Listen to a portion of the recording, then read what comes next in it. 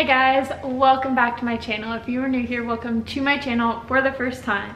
I am trying something different for today's video, so let me know in the comments down below how you like it. Usually for my renovation videos, I kind of talk you through the whole thing as I'm going. I work through the problems um, as they come up and then show you the end result once it's done. But for today's video, Instead, I'm going to start with the end project and I'm going to kind of narrate and go through how I did everything, the problems that came about, what I wish I would have done differently, everything like that, and just kind of do a voiceover. So if you guys prefer this type of video, let me know. If you prefer the other type, let me know.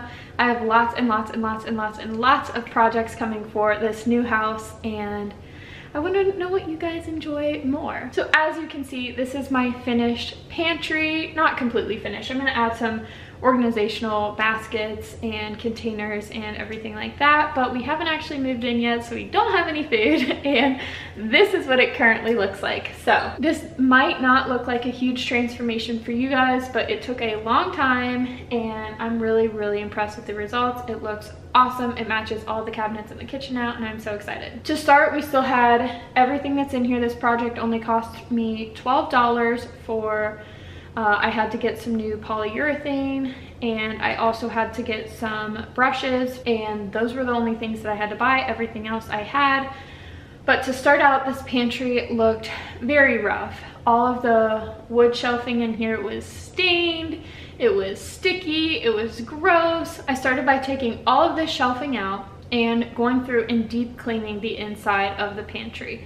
These shelves are all resting on little like notches in there. The majority of them look like trim or there was a few of them that were just wood. I had to go through and deep clean everything, vacuum all of the old chips, the old pretzels, the old pasta noodles. There were mouse droppings. It was nasty. So I went through and vacuumed it and then cleaned it all up. And then the next thing that I had to work on were patching all of the holes.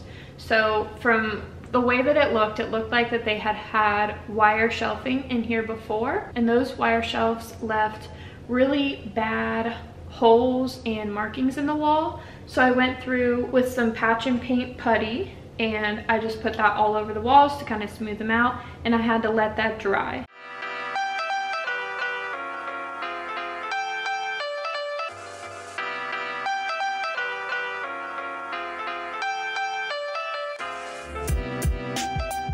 Once I waited the amount of time that was required to let it dry, I went through and sanded the walls down to make sure that they were nice and smooth. And then it was time to work on the actual wood shelves. So I took them all out into the garage, I laid them all out, and I started sanding and sanding and sanding and sanding.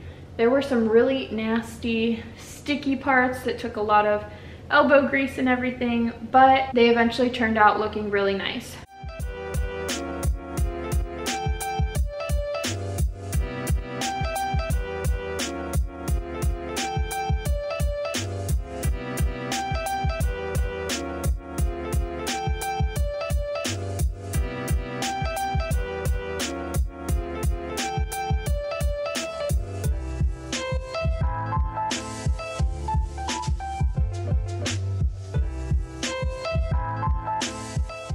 Once I was done sanding them, it was time to stain them.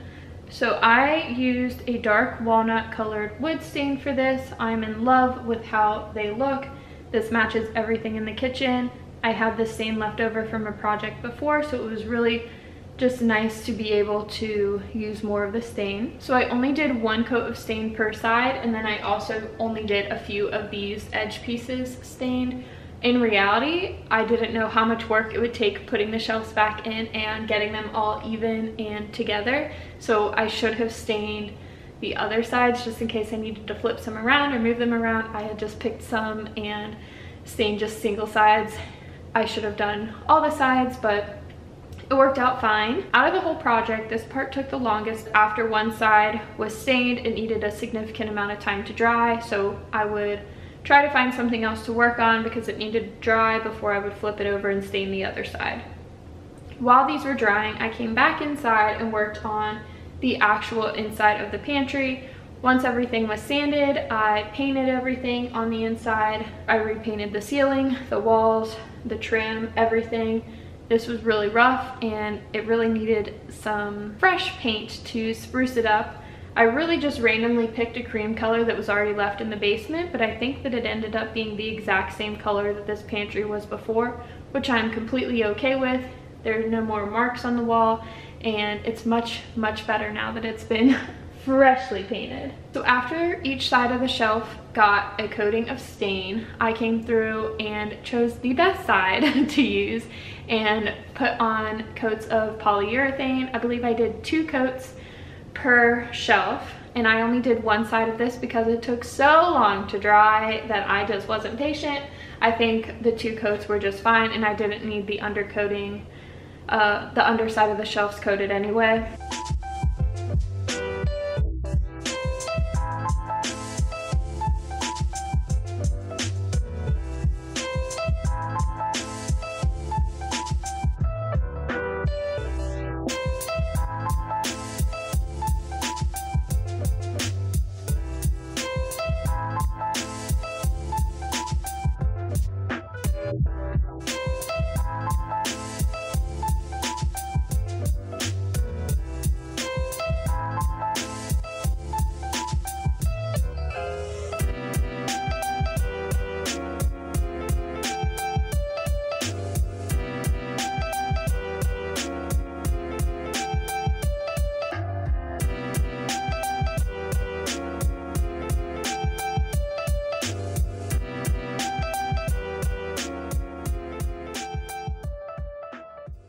Once everything was finally dry and to my liking, it was time to put all of the shelves back in. This took a lot of work trying to find out what fit best where. Some of the shelves were still a little bit stained that even though I stained it with the wood stain and made it darker, you could still see some of the spots in the wood underneath from when it was really stained with something else, uh, food or something before. And so I really wanted the not so good ones on the top so that I would never see them in reality it doesn't really matter because I'm going to have baskets and food and all sorts of stuff stored in here so I won't be looking at empty shelves anyway.